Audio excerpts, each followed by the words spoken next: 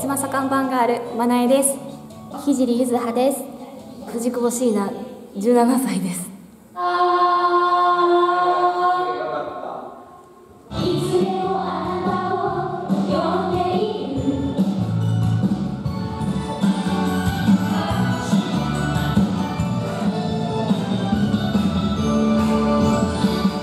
場所狭い。見たよ、そこの。養成所の生徒で、まあ、演技の勉強をしてもらっているんだけど、その演技以外に何か残せるものがないかなっていうところで、生徒がいろいろ考えて、歌を歌う方でもあったりプロデュースするとか。そんなことでみんな何かできたらいいんじゃないっていうところから始まったんですね。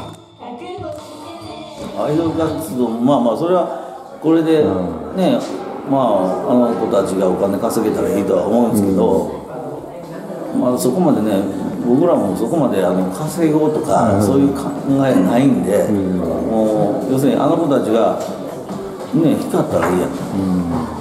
て思ってるぐらいですよね。